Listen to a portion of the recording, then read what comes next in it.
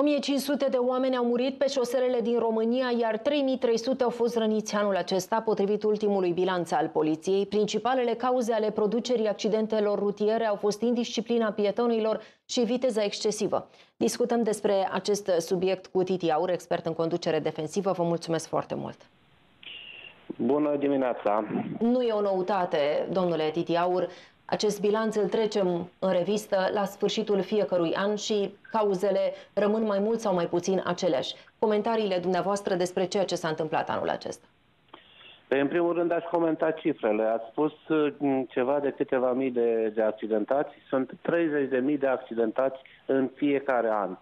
Pentru că uh, acolo de unde ați văzut dumneavoastră în statistică s-au împărțit accidentații ușor în două categorii cei accidentați ușor ca urmare a accidentelor grave, adică unde sunt morți, răniți, dar sunt și accidentați ușor și într-adevăr acolo sunt 2000 și ceva, dar mai sunt 27.000 de accidentați ușor din accidente ușoare, ceea ce înseamnă mâini rupte, picioare rupte și multe alte, uh, să zicem, uh, uh, traume relativ simple, dar tot accidentați sunt.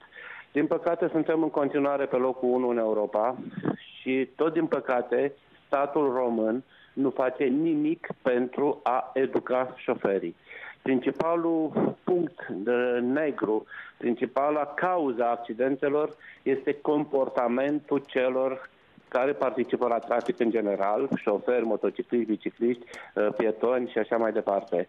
Uh, nu se face nimic la acest capitol și până când nu se va face ceva pentru a educa participanții la trafic, nu vom scăpa de acest uh, penibil, spun eu, loc, ultim loc din, uh, din Europa la sânge pe șosea. Statul nu uh. face nimic pentru a educa șoferii. Spuneți, ce norme lipsesc?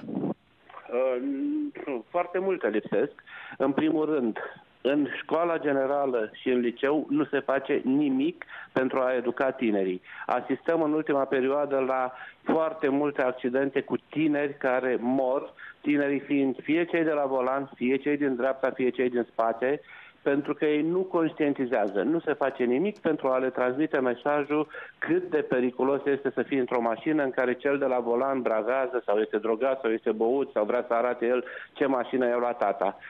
Școala de șoferi este sumară, se fac doar, sau se primesc doar câteva informații să deplasezi mașina, să semnalizezi, să parchezi și gata, ești bun de șofer. Lucru care se întâmplă și în alte țări, de exemplu în Austria, dau doar un exemplu, dar și în Suedia, și în Belgia, și în Franța, și în multe alte țări, după școala de șofer mai faci alt stagiu de pregătire în care înveți să stăpânești mașina la limită, în care înțelegi ce înseamnă diferite situații periculoase în care devii cu adevărat șofer nu se face nimic. Mai mult, avem o lege care este lege de un an de zile, este promulgată, este publicată, dar Ministerul Transporturilor refuză să facă normele de aplicare. A trecut un an, trebuia normal în șase luni maxim conform legii să se facă, Ministerul Transporturilor se opune.